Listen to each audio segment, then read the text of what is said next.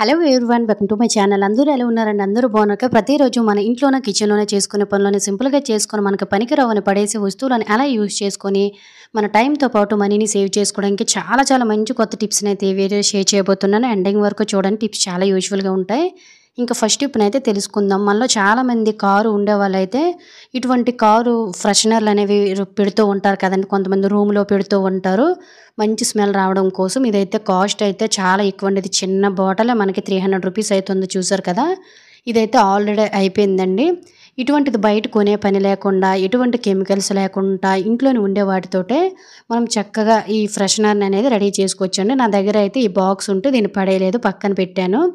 తరువాత మనం ఇలా ఫ్రెషనర్ తయారు చేసుకోవడం కోసం మిక్సింగ్ బౌల్ అయితే ఒకటి తీసుకున్నాను.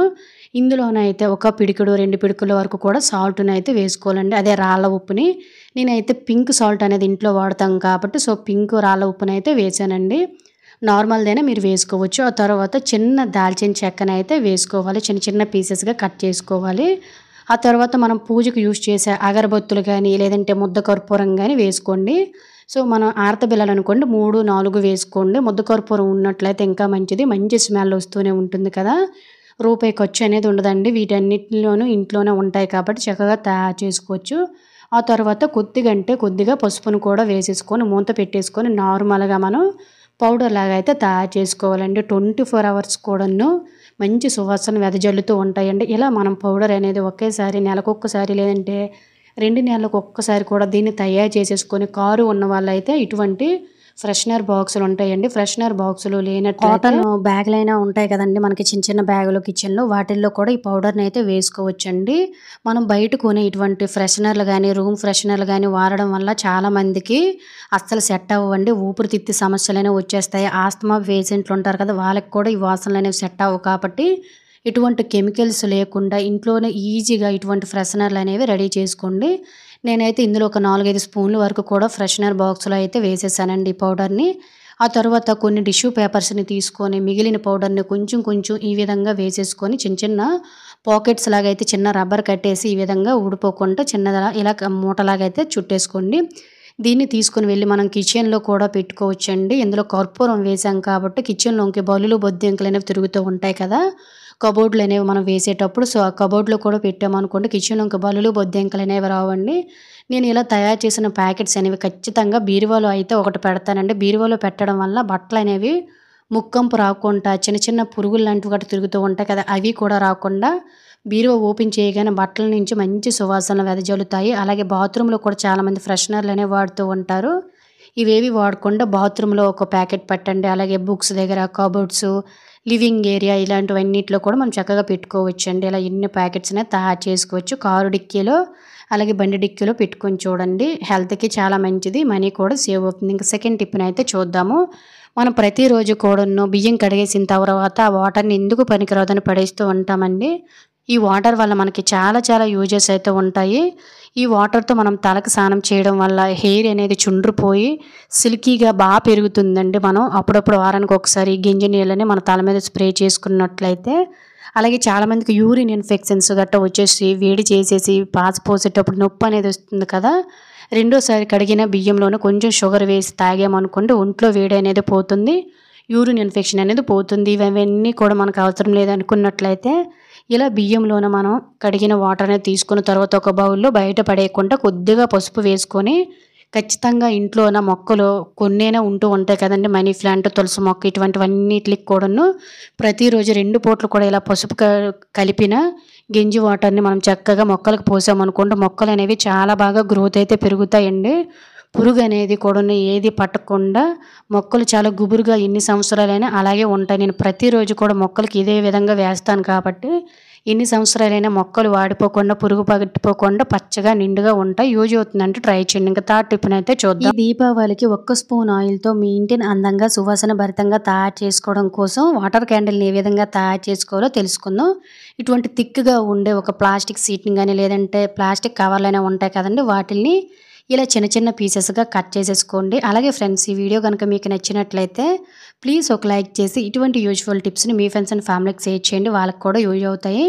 ఇలా మనం అన్నీ కూడా ఒకేసారి తయారు చేసుకోవడం కోసం అంటే వాటర్ క్యాండిల్ తయారు చేసుకోవడం కోసం ఇలా ప్లాస్టిక్ సీట్ని అయితే చిన్న చిన్న పీసుగా కట్ చేసుకొని నాలుగు మడతలు పెట్టేసుకొని చుట్టూ కట్ చేసి పైన ఈ విధంగా కట్ చేసుకోవాలి.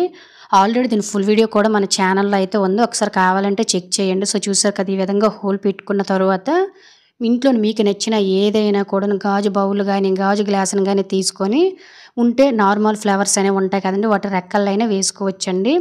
లేదంటే మన దగ్గర పూసలు లాంటివి గట్టా వేసుకోవచ్చు. నా దగ్గర అయితే ప్లాస్టిక్వి ఫ్లవర్స్ అయితే ఉన్నాయండి. డెకరేషన్వి వాటిల్లో అయితే ఈ విధంగా వీడియోలో చూపిస్తున్న విధంగా ఒకటి పెట్టేశాను అనమాట మధ్యలో.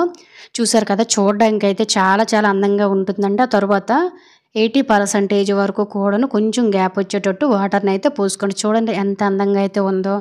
చివర్లో అయితే ఇంకా అందంగా ఉంటుందండి మనం డెకరేట్ చేసేసరికి. ఆ తర్వాత ఇలా మనకి గిల్టర్స్ అనేవి మార్కెట్లో దొరుకుతూ ఉంటాయండి. నేను మిక్స్డ్ కలర్స్ అయితే ఒక ట్వంటీ రూపీస్ అయితే తీసుకున్నాను. వీటిని అయితే వేస్తున్నాను.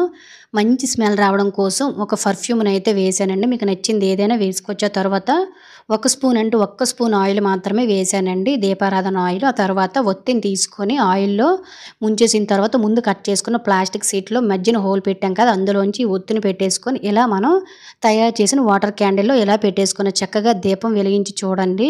మనం పర్ఫ్యూమ్ అనేది వేసాం కాబట్టి వెలుగుతున్నంతసేపు అందంగా ఉండడమే కాకుండా మంచి సువాసనలు వెదజల్లుతూ ఉంటాయండి. ఓన్లీ ఇలా దీపావళికే కాకుండా మనం ఏవైనా కూడాను ఫంక్షన్ టైంలో కూడాను అందంగా నిండుగా కనిపించడానికి కూడాను ఈ టిప్ అనేది చాలా బాగా యూజ్ అవుతుందండి. చూసారు కదా ఎంత అందంగా ఉందో.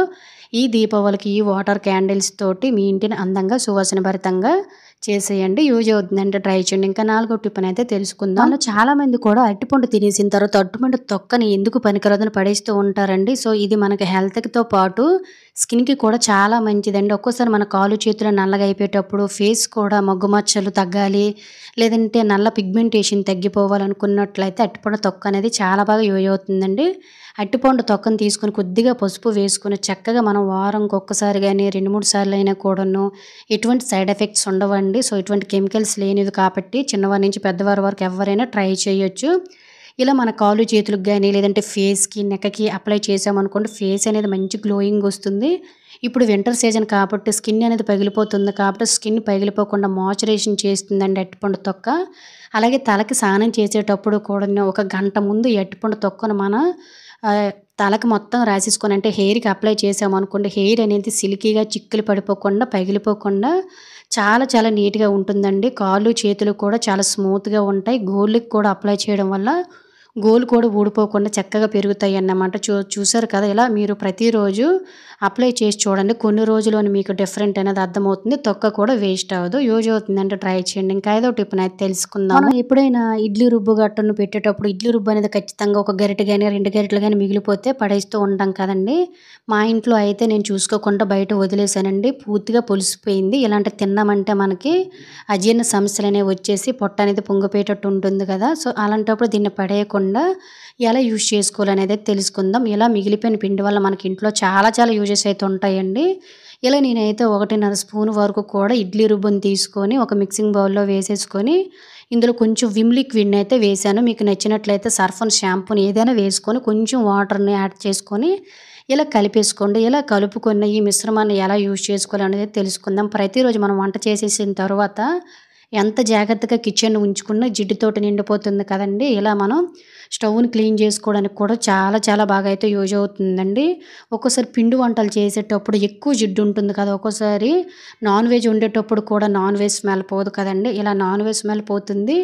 జిడ్డు కూడా పోయి కిచెన్ అనేది చాలా చాలా నీట్గా అయితే ఉంటుంది. ఇలా స్టవ్తో పాటు బ్యాక్ సైడ్ ఉండే టైల్స్ జిడ్డు అనేది ఉంటుంది కదా ఎక్కువగా అది అంతా కూడా పోతుంది. ఎందువల్లంటే మనకి గరుకుగా ఉంటుంది కదండి. మనం ఇందులోనైతే నూక అనేది వేస్తాం కాబట్టి ముండి మరకలు కానీ జిడ్డు మరకలు అన్నీ కూడా పోతాయండి. కిచెన్ మొత్తం కూడా మనం ఎలా పిండితోటి నెలకొకసారి క్లీన్ చేసామంటే చాలా చాలా నీట్గా అయితే ఉంటుంది. సో నేను మొత్తం కూడాను కిచెన్ గట్లు కిచెన్ మీద ఉండే మొత్తం అంతా కూడా క్లీన్ చేసేసానండి. స్టవ్ అనేది ముందైతే ఇలా తడిగుడ్డతోటి చక్కగా తుడిచేసుకొని ఆ తర్వాత పొడిగుడ్డతో నొక్కుబెట్టి తుడిచేసుకున్నాం అనుకోండి స్టవ్ అనేది కొత్త దానిలాగా జిడ్డు మురికి అంతా కూడా పోతుందండి. ఇలా ఒక్కసారి ఎప్పుడైనా మిగిలిన ఇడ్లీ రుబ్బు ఉన్నట్లయితే అస్సలు పడేయకుండా చక్కగా ఇలా కిచెన్ క్లీన్ చేసుకొని చూడండి. ఓన్లీ ఇలా కిచెనే కాకుండా మనం గిన్నెలు తోముకోవడానికి కూడా చాలా చాలా బాగా అయితే యూజ్ అవుతుందండి. మనం చక్కగా అయితే సింక్ క్లీన్ చేసుకోవచ్చు బాత్రూమ్ క్లీన్ చేసుకోవచ్చు ఇలా అన్నిటిని కూడా మనం క్లీన్ చేసుకోవచ్చు అండి పడేయాల్సిన అవసరం లేదు. చాలామందికి పడేయాలంటే చాలా బాధ అనిపిస్తుంది కదా. సో ఇలా మనం చక్కగా పడేయకుండా మన కిచెన్ అంతా కూడా నీట్గా క్లీన్ చేసుకోవచ్చు. అలాగే ఫ్రెండ్స్ ఇంకొక చిన్న రిక్వెస్ట్ అండి. ఇంకా మీరు ఎవరైనా మన ఛానల్ సబ్స్క్రైబ్ చేసుకోలేకపోతే ప్లీజ్ సబ్స్క్రైబ్ చేసుకుని పక్కనున్న బెల్ ఐకాన్ ఆల్ యాక్టివేట్ చేసుకున్నారంటే ప్రతిరోజు నేను చేసే వీడియోస్ అన్ని డైలీ నోటిఫికేషన్ వస్తాయి. సో ఈ విధంగా ఎప్పుడైనా మిగిలిన పిండితోటి ఇలా చక్కగా గిన్నెలు కానీ కిచెన్ కానీ క్లీన్ చేసి చూడండి.